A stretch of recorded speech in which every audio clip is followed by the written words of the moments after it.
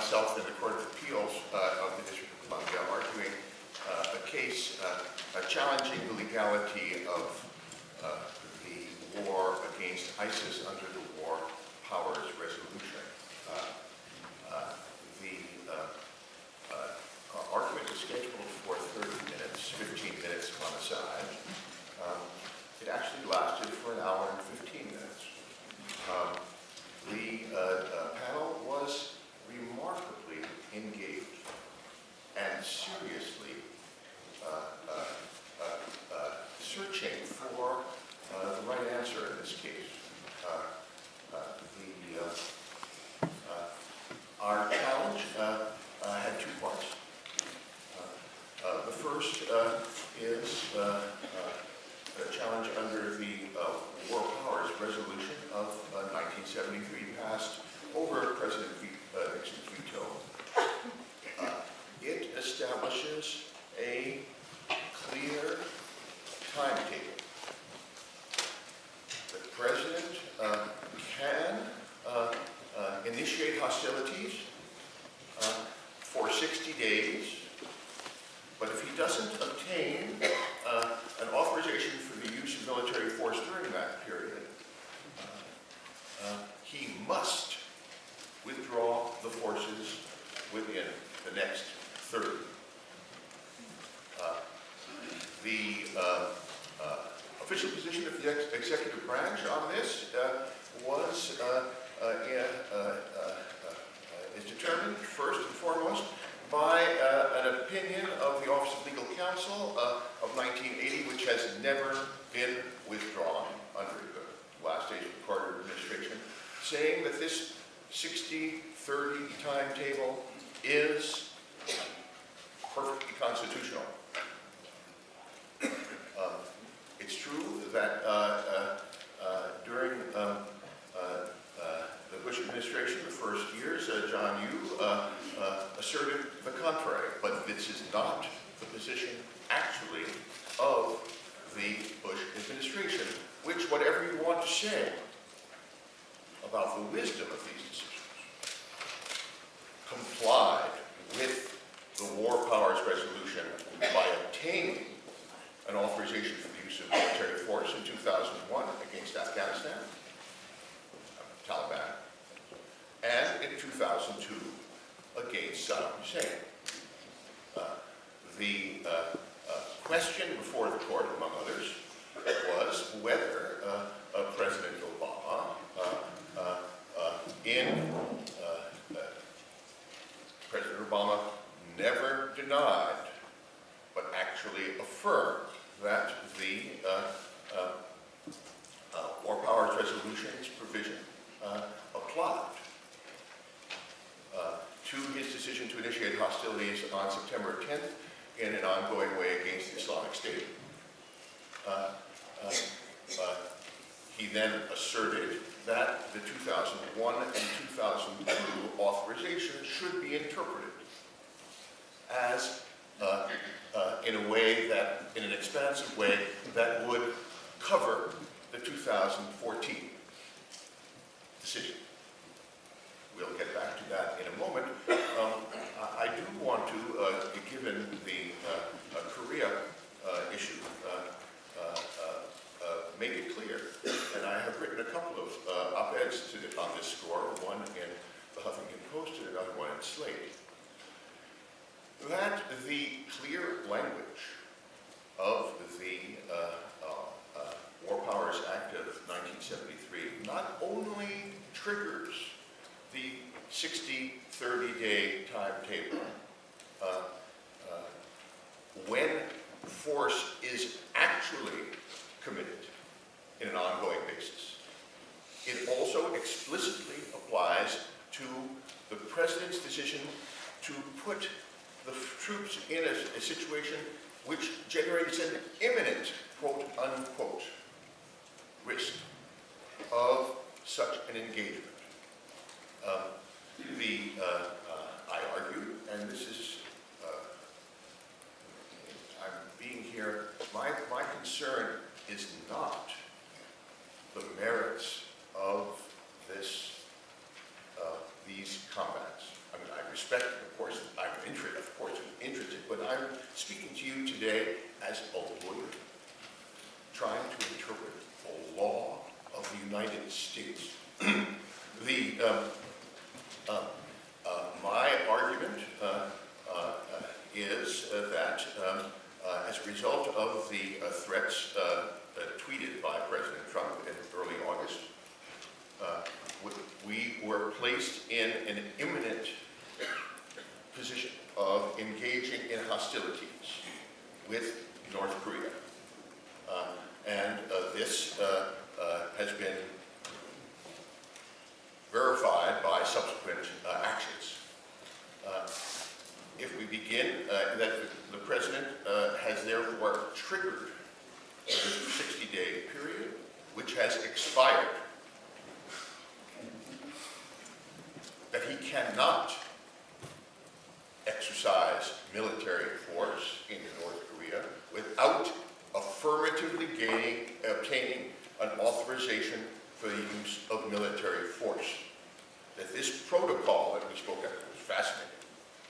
Uh, The, the, under the law of the United States cannot be invoked at the present time without an authorization for the use of military force like the ones President Bush obtained in 2001 and 2002.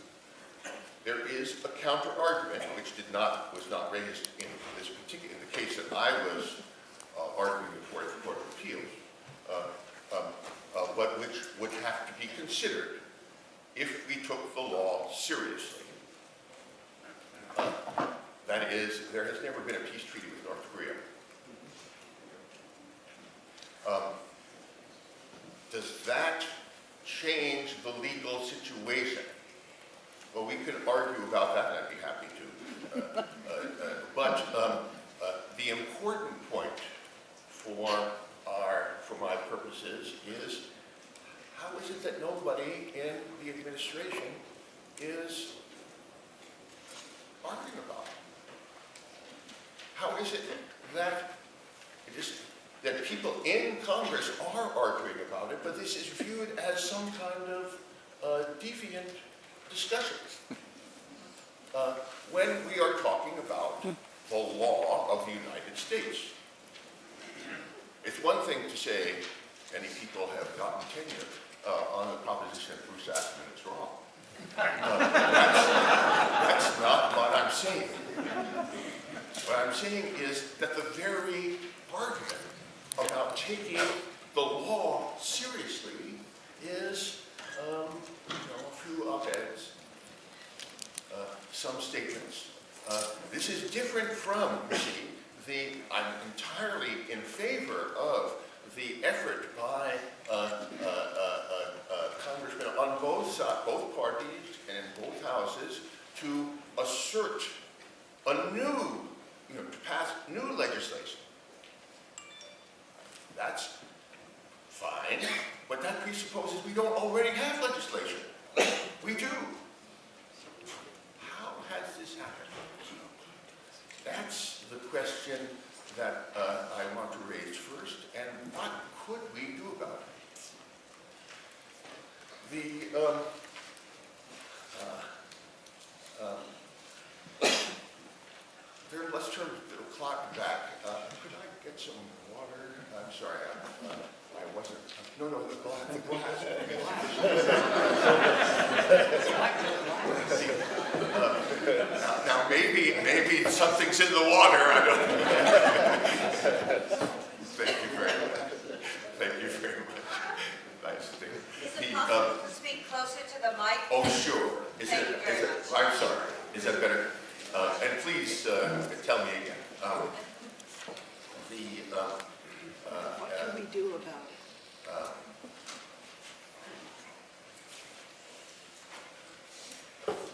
let's turn the clock back to the 1960s. What could we do about it? Yes, that's right. What could we do about it? But I'm going to begin by uh, uh, beginning at a point where something had been done about this um, within the executive branch. Because the president, let's imagine uh, uh, I were to win this case before the Court of Appeals or the Supreme Court or the en banc DC, you know, we have, uh, it would be four years uh, before um, uh, I received uh, a, a, a declaratory judgment saying that yes, President Obama did violate the War Powers Resolution. The president has this tremendous first mover advantage, and as I mentioned to you in the Korean case, the issues are legally distinct. We would have to have another lawsuit. In the meantime, the would operate. Um, the, the, the basic thesis of my minutes uh, is that we need to have a, uh, construct a, uh, uh, a uh, uh, legal, a credible legal guardian within the executive branch to constrain and articulate the legal requirements imposed by Congress. Um, the, um, uh, and uh, I uh, begin my story in the 1960s because that's what we had in the 1960s. It was called uh, uh, the Office of Legal Counsel in the Justice Department, uh, a body that still exists at that time, and it's still an elite body of 25, 30 first-rate lawyers. Um, in the 1960s, this body consisted entirely of long-time elite civil service lawyers who had served for decades, each person, had served for decades and had gained a tremendous amount of experience. You know, one talks about the executive branch, but of course there are many different components of the executive branch. There are many different legal problems raised in different components, civilian and military. Um, the, uh, uh, there was only one political appointee. He was the Assistant Attorney General, Office of Legal Counsel. And occasionally he had one but not very often. Uh, there was the White House counsel. Uh, Sam Rosenman was appointed by Franklin Roosevelt in 1942. Uh, he was an old friend of his. Uh, he served as, uh, Sam Rosenman was served as the uh, governor's council uh, when Roosevelt was a governor. Um, and um, he, two minutes left? Oh my God. okay. Um, uh, in any event, uh, the, uh, uh, today, to switch very quickly to today, the uh, uh, White House Counsel has 35 or 40 political lawyers who, every new administration, they're swept clean, and a whole set of new political lawyers come in. No institutional memory, and most of these lawyers have only had a little bit of experience. So, for example, Robert Bauer, who was the uh, um, uh, White House uh, counsel at the time of uh, uh, the war against uh, ISIS, was a, a, lawyer for the Democratic National Committee and a personal lawyer to President Obama. He didn't know anything about national security law. Um, the, at the same time, the Office of Legal Counsel is a shadow of itself. It's still much more independent than the White House office is, but uh, it is full of uh, uh, people who uh, have are inner, out, in, in, inside outsiders who move in and out uh, and, and the like.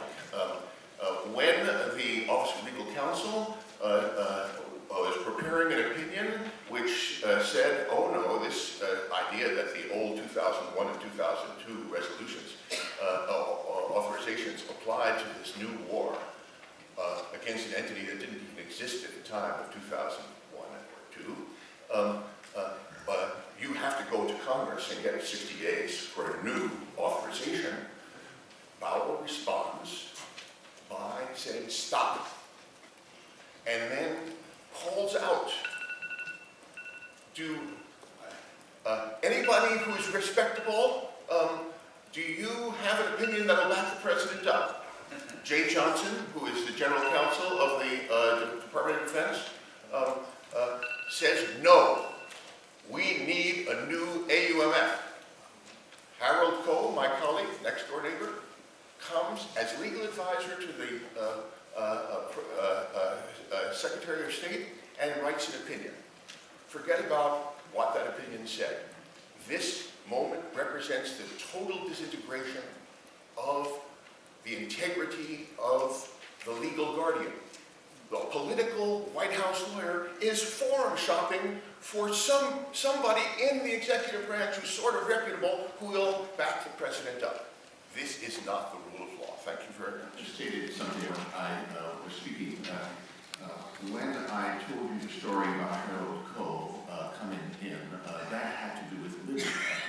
Uh, I might have, because of the press of times, misspoke and said that had to do with the uh, uh, 2014 decision by President Obama to make war against ISIS. Uh, What happened there was even worse no opinion was written at all, either by the uh, White House counsel or by uh, the Office of Legal Counsel. Uh, It was just a bare assertion that the 2001 and 2002 authorizations uh, uh, were sufficient. And uh, when uh, uh, I argued this case uh, uh, last week, uh, uh, I said, and this I think is one of the reasons that the uh, uh, judges were moved, uh, that if uh, the court in this case uh, fails to discharge its fundamental function of uh, maintaining the Constitution of the United States and statutes implemented, as the War Powers Resolution was, in pursuance to that. Uh, uh, Not only President Trump, but every future President of the United States will have had this precedent um, that the bare assertion of the 2001 and 2002 authorizations, without any legal argument whatsoever, um, uh, sufficed to justify the forever law. Um, And um, in response to that argument, the, uh, um, the uh, uh, panel uh, uh, uh, focused this question uh, on the uh, government's lawyer. Said, Is it the case that the president's position, well, that your, is it the case that the Justice Department's position in this case, representing the president, was that there was never an occasion upon which courts should impose fundamental restrictions in the name of the Constitution on the exercise of war. Uh, After a good deal of back and forth, the lawyer from the government said, yes, it is the case. He took the most extreme view. Um, uh, It is the case that it is never the case um, that the courts should ever, dot, dot, dot. Um, I, this was something that was deeply. And now, from the vantage point of American constitutional law, um, the, the problem that we're talking about here is not a new problem. The first time it was raised was in 1802, um, in the case of Little against Barreme. Um, Little against Barreme, Captain Little was uh, one of, uh, a captain of one of the six ships of the Navy at the time. Um, in, in 1799, uh, uh, Congress, in, uh, we we were having the first limited war with France, a quasi-war with France. Congress passed the following embargo uh, uh, provision. Instructing the Secretary of the Navy that um, his six ships should be used to seize any uh, merchant vessels going from the United States to France. Um, President Adams issues an order to the uh, uh, Secretary of the Navy says, not only that, you should also seize ships coming from France to the United States. And moreover, you should, uh, if you see a ship that's flying a neutral flag, seize that if you think it really is a ship that's owned by the uh, Americans and they're trying to uh, get around. Uh, Captain Lou um, uh, is, was enforcing the embargo, and he sees the flying fish, which is a da- flying a Danish flag. Um, uh, oh, boy, I forgot to tell you. Uh, so, um, Secretary of Navy says, listen to what the President has said. He commands his officers to, to disobey Congress and follow the uh, orders of the President. Um, the uh, uh, Captain uh, following the orders of the President, seizes the ship and takes it into port. Litigation goes up to the Supreme Court, and first, Jo- John Marshall, this is the Marshall Court, uh, 1802 is the first year, of the year before, Marbury against Madison, 1803, mind you. Uh, uh, Marshall says, you know, questions of military discipline, uh, we should tell these officers that they should obey the President of the United States. Um, the other members of the panel, the other members of the court disagreed, and he, he changed his mind. And for a unanimous opinion of the court, says, no, a presidential order cannot render legal what was illegal. You had an obligation to follow Congress. Now, the, um, uh, this case, we argue before the judges, and we'll find out. You know, I mean, you know, they, I think the Rose is asking a, a fundamental question, but we don't know the answer to this. uh, uh, uh, I argue, and people listen, uh, uh, uh, that uh, this uh, uh, decision is a fundamental part of the general project of Marbury against Madison. Marbury against Madison, decided one year later, says that uh, the civilian officers of government, Congress, President, courts, uh, have an obligation to follow the Constitution first. Um, what Little against Barreme holds is that that is also true of the military officers of the United States. Um, that they have an obligation to follow uh, the Constitution when the commander-in-chief orders something inconsistent with that. Then, the final point on your uh, question of standard, you see. Um, uh, There are two statutes in the contemporary, uh, contemporary statutes, one passed in 1957 and one passed in 1961, which are directly and only targeted at military officers. The statute for enlisted personnel says, uh, you have to, I hereby uh, swear to support and defend the Constitution of the United States and to follow the orders of the President of the United States. The statute for officers says, does not have this clause. It only says, we hereby swear to support and defend the Constitution of the United States. Citing the late, great Justice uh, Antonin Scalia, I uh, present to the court, uh, there is a fundamental maxim of statutory interpretation that uh, when there are these two statutes directed to the same problem, and one says X, you obey the President of the United States, and the other one doesn't, you shall not interpret the officer's oath as if it said the same thing that it didn't say. That is, you shall obey the orders the President of the United States. Moreover, within the context of Little Marine versus Marine, it isn't only that the statutory interpretation requires the conclusion that there is a difference between the officers of the United States.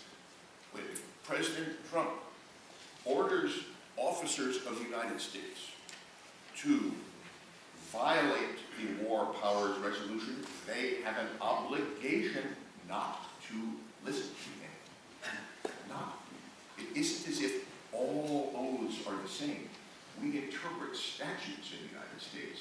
There are two of them, they say different things, and they, under the standard categories of statutory interpretation, impose an obligation on the uh, officers. And that is why the plaintiff in this case, Captain Little, has standing.